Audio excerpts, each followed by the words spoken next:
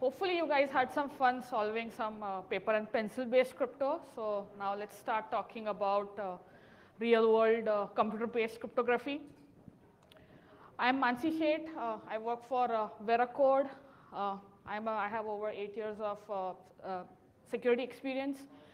Last five years at Veracode, being a researcher, I look at a lot of different programming languages and frameworks in my day, try to analyze and see how insecurely they can be written and leave applications completely open, and then obviously suggest those things for our, uh, how to automatically find this to our uh, binary static analysis tools. Uh, one such project was uh, looking at different crypto implementations across different languages and libraries. Uh, I found Java the uh, something which needed most amount of attention, and that's where I come from. Uh, I'm a crypto enthusiast. I like solving crypto puzzles, as you saw, but I'm not a cryptographer or a mathematician or a cryptologist or any of that. There are just like two dozen such people on earth right now. Uh, and I'm not going to make any one of you here a cryptologist at the end of this 35 minutes, just so that we have our expectations straight.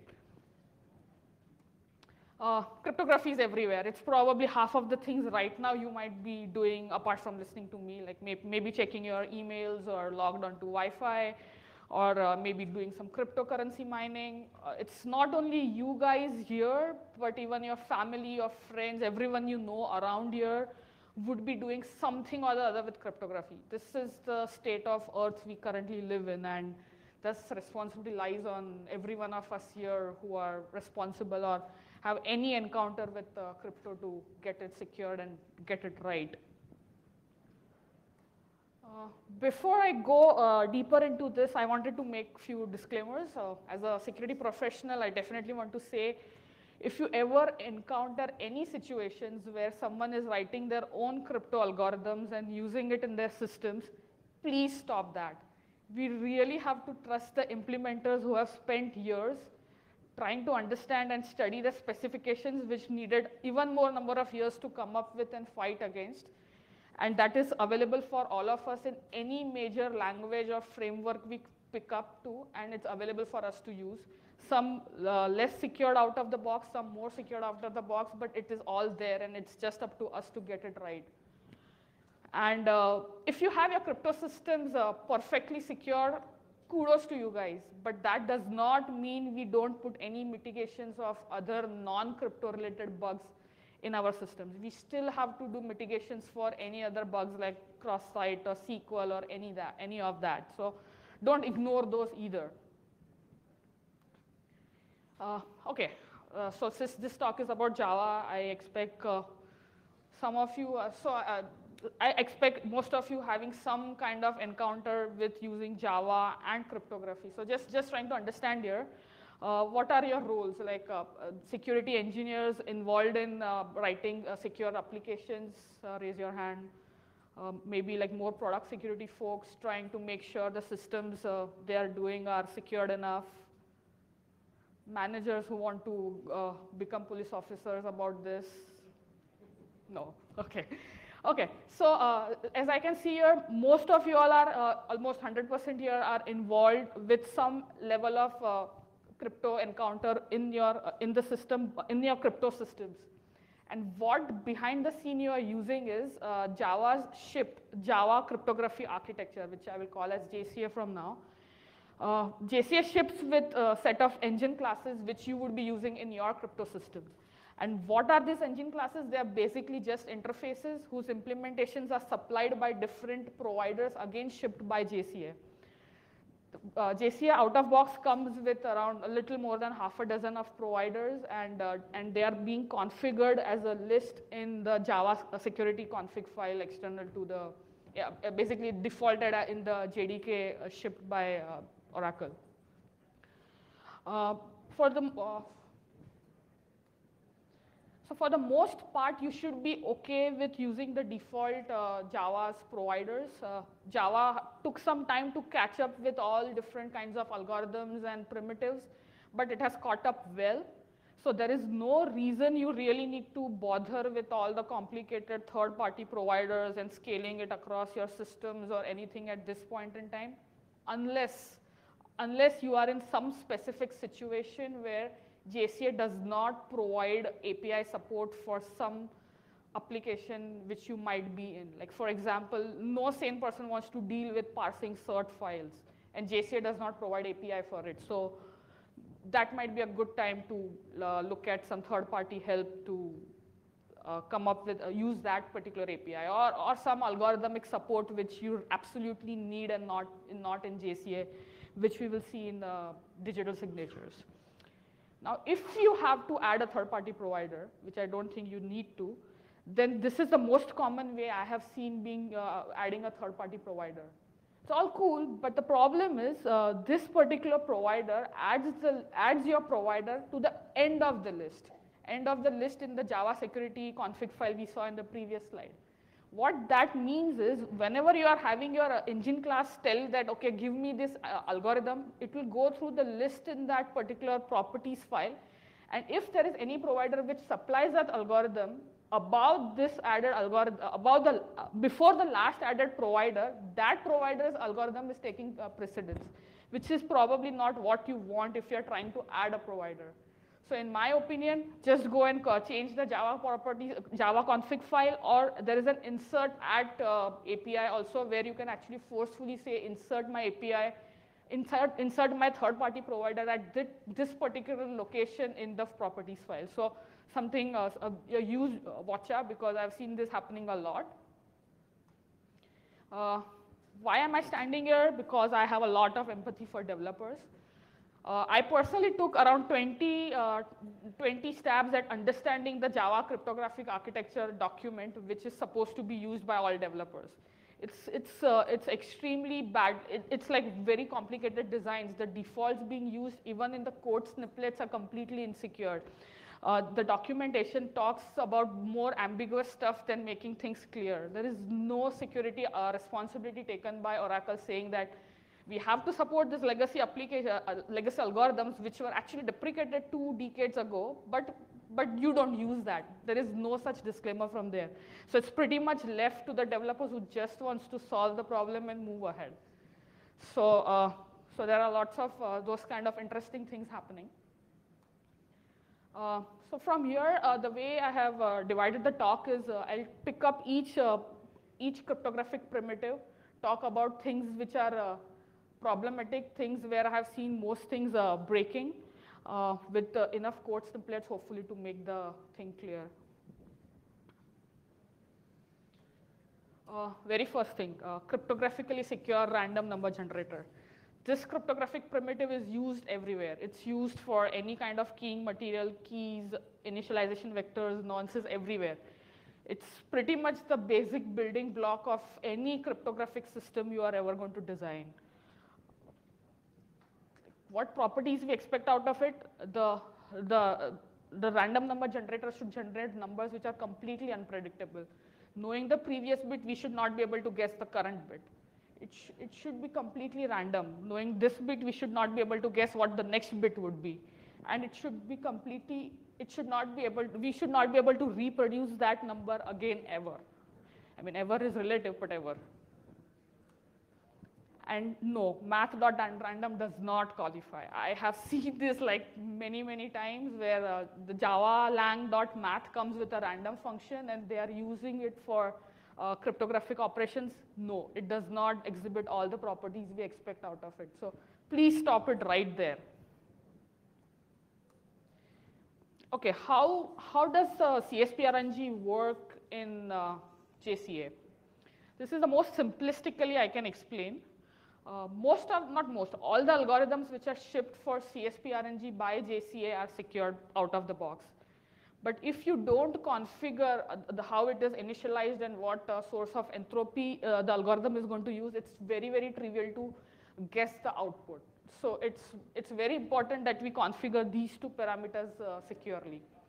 Now, how does Java help us do this? So Java, uh, while for seeding mechanism, uh, it has two, uh, it, in the JCA document, it talks about two things. It talks about self-seeding and explicit, explicit seeding. Now, how much ever counterintuitive the word self-seeding sounds, that's what we want. that's, that's when we are telling the operating system to take control over how to seed the random number generator. And explicit seeding means we are giving the developers code the responsibility to seed the algorithm, which we never want. And how to seed this algorithm, what source of entropy? There are broadly two uh, sources of entropy, blocking source and a non-blocking source. Uh, and what does that mean? Uh, is uh, the way I, I, think about it is a bucket where, uh, where all the operating system interrupts and hardware interrupts and timing cycles, they all put their input in it. And there is a threshold set on that bucket. When we say we want a blocking source to uh, seed the algorithm, that if the threshold is not met, we are just, the blocking source will just block the algorithm, wait till, I, till my threshold is met, and then I will give you entropy. And non-blocking is completely opposite. The, the moment algorithm asks, it will give it whatever entropy it has from that bucket. Uh, now, I think cryptographers are basically very pessimistic people. They, think that if they, if, uh, if they are going to use any kind of non, uh, blocking source of, uh, sorry, non-blocking source of entropy, the world is going to fall apart. It's not sufficient to the uh, entropy given, etc., etc., etc.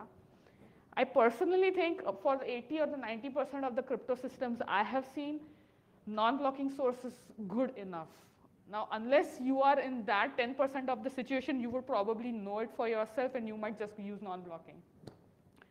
So uh, to take away, always use self-seeding and, and probably use a non-blocking source.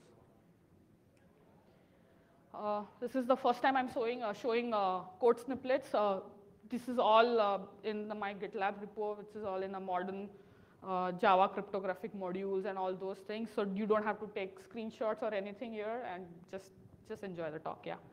Uh, so if uh, so if you're right, so now since uh, uh, seeding is operating system based, what is the most agnostic way to write a most secured uh, CSPRNG? Get the engine class, initialize it, and immediately follow it by any of the next star methods. You have next byte, int, long, whatever, any of the next methods. It's when you use the next method is actually when the operating system is seeding with the configured source of entropy, the algorithm. And in between, if you use this set seed method, that's when the developer seeding comes into picture and which we definitely never want to do. Set seed is uh, provided by this engine class for some other reason and uh, which is documented in the, in the Java docs, but take away, never ever have a set seed before the net, next bytes uh, or next star uh, API is ever used.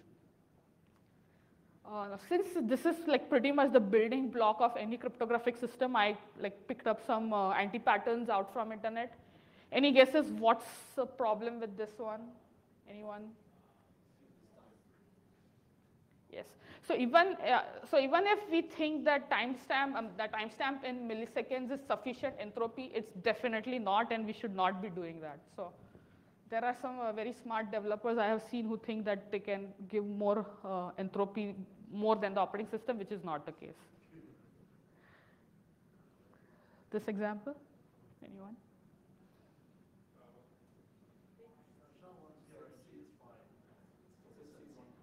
It's still, and any guesses what the output is actually? Output is actually 1, 2, 3. Yeah. This one? You are initializing the engine class with again an explicit seed. And again the output is 1, 2, 3 in this case.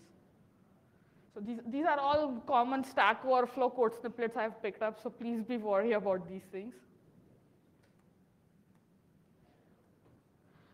Okay, the next uh, primitive encryption and decryption, which is pretty much synonymous to cryptography sometimes. Uh, the most basic way uh, encryption is when you want to obscure the meaning of the data and decryption is when you have you are authorized to have keys to actually decrypt them uh, get the meaning out of that encrypted data. There are two broad categories of algorithms uh, symmetric or block ciphers where the same key is used to encrypt and decrypt your data and asymmetric or public keys when different set of keys are involved. Applications it's used everywhere. It's used for data at rest data in transit and everything in between Okay, now to get a simple cipher going, in my opinion, there are these five parameters we should configure very, very vigilantly to get a very secured uh, cipher. Uh, which are which are these? Uh, you obviously have to specify the algorithm. Uh, you specify the mode of the mode of the algorithm's operation, which is only relevant in uh, symmetric encryption or block ciphers. Padding scheme, your data is never going to be the exact size your algorithm is used to working in, so you have to pad it with extra data and make it of exact size the encryption algorithm can work on. Obviously, the keys and initialization vectors is again uh, relevant only in symmetric encryption. Uh, we'll talk about it later. Now, just to configure these five parameters, no, does not matter uh, symmetric or asymmetric, there are minimum three to four classes involved with its own set of interfaces and hierarchies just in Java. So, so it's just imagine how easy it is to uh, do something wrong. Now, luckily, uh, the first three parameters, which is the algorithm mode of operation and padding scheme, is configured by a single string called the transformation string. Now, these are the list of options or uh, algorithms which is supplied by JCA 10, not even like 6 or 7 I'm talking about, the latest JCA. Just, just meditate over the slides, look at number of uh, red dots and number of green dots. And just imagine how easy it is to pick a wrong choice and just uh, break your cipher. Uh,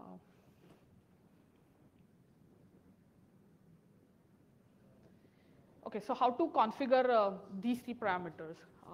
First thing is if you want to take away one thing from this section is always specify the entire uh, transformation string as the algorithm slash your uh, mode of operation and your padding scheme. And why I'm saying so, because the defaults which JCA decides to take, if you don't specify it yourself, it's completely insecure. So for example, if you are using, uh, doing asymmetric encryption, uh, use RSA algorithm. Use ECB. ECB is only relevant in block ciphers, I know, but in the Java world, ECB behind the scene translates to none. And that's why we are writing ECB here. And uh, and the documentation does not talk very openly about uh, OAEP algorithms and how to configure its different digests. But uh, this is the way to do it. This is, uh, this is what is working. So always use OAEP with uh, the right hash and the MGF padding for it. So, and that's how asymmetric should be done. And for symmetric, uh, use an authentication and authenticated encryption, uh, which only is a GCM from JCA side. Uh, algorithm obviously always AC, uh, AES, uh, 3DES, everything is deprecated a decade ago. I don't know why Java is still talking about it, but just forget about those things. Uh, some things I have seen uh, out, uh, AES, and someone is still using ECB because it is defaulted in RSA, it's confusing, but ECB mode in AES is a very, very bad idea. So never do that. And the last one is something which I've seen the most common and the most dangerous. It again maps to the second last line uh, defaults is ECB and uh, uh, PKCS padding, which is okay. So yeah, this is how to configure those three parameters. Uh, next is keys. Uh, keys is uh, relatively straightforward. Use the key pair generator engine class for public keys. the size should be at least 2048. I would say much go for 4096 or even higher. There is no reason not to in this crypto power age.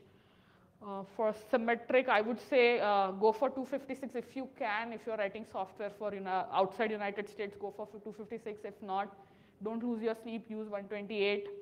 One good thing is uh, Java 10 defaults comes with unlimited jurisdiction, so now you don't have to go and install a jurisdiction policy for 256 bits, so which is a, which is a good thing. Uh, lastly, initialization vectors. Uh, as we said, this is uh, very relevant only in uh, symmetric encryption. Uh, now Java, uh, most of the configurations happens to something called as open specification. What it means is that uh, JCA does not decide to give a lot of control of the different algorithmic parameters to the developers because they don't trust developers and which is the right thing to do, except for initialization vectors. Now in the Java docs, uh, there is a Cipher API which says that if you use this last parameter as a, as a CSP RNG, that's what is going to be used for all different parameters, randomization, everything, etc., etc. It, ran, it might be true, but it did not ever randomize my initialization vector. So the only way I could initialize the IVs for the GCM mode was through transparent initialization go through the hierarchy uh, of uh, controlling the different parameters and uh, go through the GCM specs and configure the IV in the most CSPRNG way. Okay, once we have these five things in place, hopefully we should have a pretty good cipher.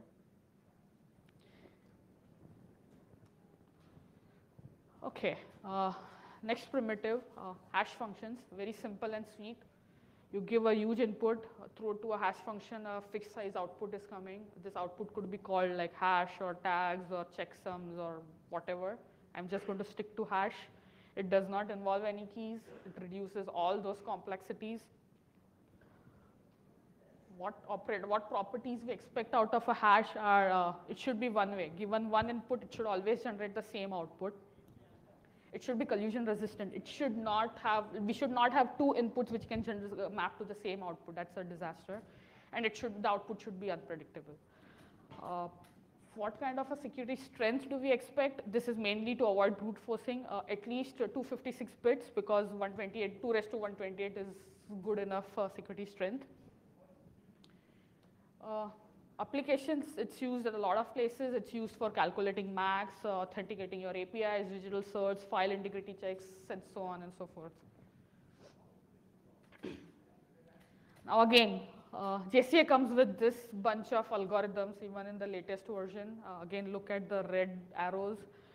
I would say stick to SHA-2 family of algorithms. Uh, SHA-3 wasn't uh, introduced to replace SHA-2. It's, it's still newer. It's not very well vetted out by all the implementers. Uh, unless you have any reason to not use SHA-2, which I could not come up with any, I don't see us using SHA-3 at the moment. If you decide to use SHA-3, and if you decide to use it through some third-party providers, there is a huge naming confusion. Like SHA-3 could even mean SHA-380, uh, SHA-2's 384-bit output or something. So just, just be vigilant of what exact algorithm you are actually trying to use.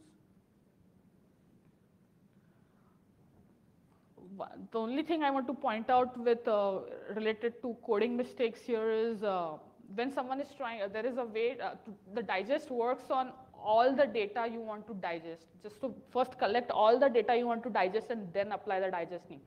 Lot of times what we have seen is they just pick the first n bytes of the buffer and just apply the digesting. So it's like if, if it's 100 lines, they just digest the first line. It, it does not make any sense. So that's why the importance of uh, applying the repeated while loop on all the data. Okay, these are the three basic crypto primitives. Now, uh, very rarely they are used in isolation. It's always used in a more higher level operations. Uh, these are the main uh, operations which I have seen mostly used across and for which JCA comes out with an engine class. So I will uh, quickly go through those. Uh, first is uh, message authentication code. It's a symmetric uh, encryption based uh, primitive based application. it's the same keys are used for by the sender and the receiver side. The sender side computes the uh, using the symmetric key computes the MAC, sends the MAC and the actual data to the receiver. Receiver recomputes it with the, same key. If the MACs match, you have uh, integrity check and authenticity on the data you are being passing around.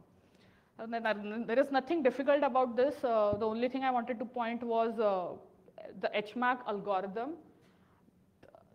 It's always better to use uh, uh, the right and the most secured ones. But if you are using, like for example, HMAC SHA, uh, SHA-1 or something, which is a very collision, which has a lot of collision resistance issues, it's okay the collision, the internal algorithm, the hash function is not the problem for your Mac. It's the keys which are usually the problem.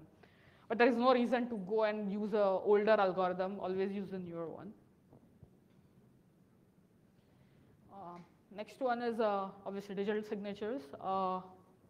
Uh, here you have a signer and a verifier. It's based on asymmetric encryption. Uh, the signer signs with his uh, private key the data and sends the sign to the verifier who recomputes the sign from the public key and if they match you get all these properties. Now as we were speaking earlier it's a asymmetric based, uh, based uh, application. Uh, you should always try to use MG, MGF based padding schemes.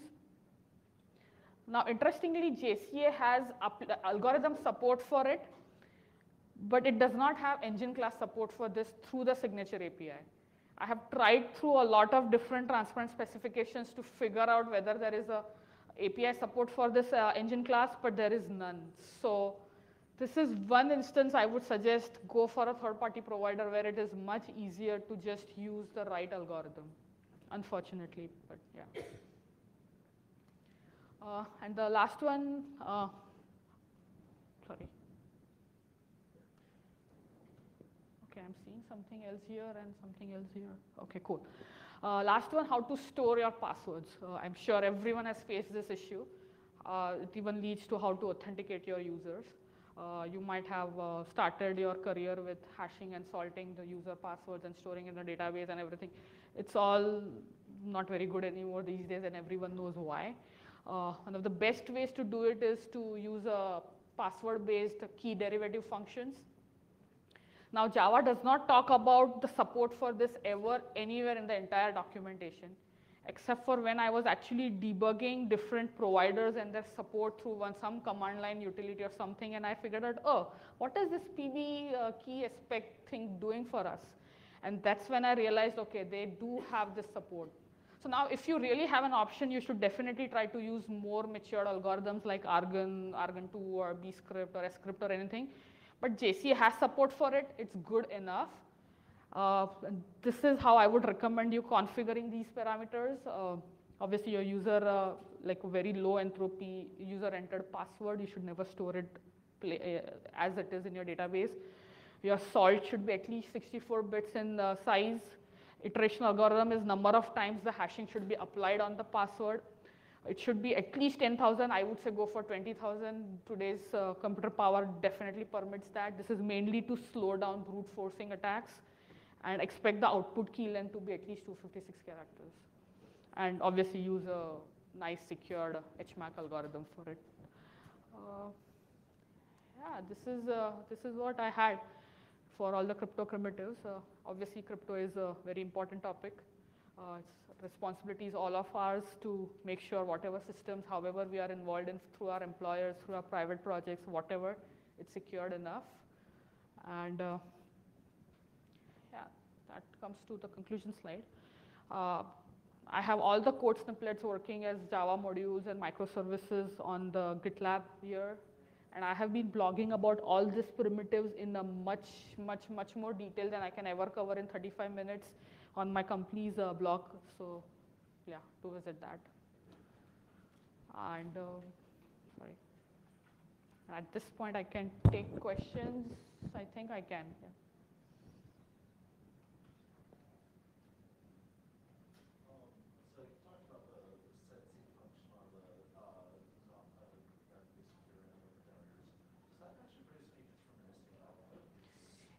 It's basically to reinitialize the algorithm after you have initially seeded it. So like after, after using the initial seed for like, for, for example, X number of times you want to reseed the algorithm, that's when you use set seed. So it does not produce deterministic deterministic output, but if it is used before the algorithm is initialized by the next seed, it will produce deterministic. Yes, sir.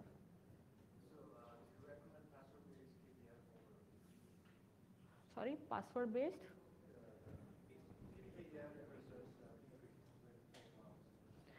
I would go for Bcrypt. But if, I mean, since I'm focusing more on uh, JCS stuff, uh, I just wanted to point out that there is a way to do that. If you don't want to relearn a new API or something, you at least can do this. I'm seeing different slides, different places. That's interesting. Sorry. Any more questions?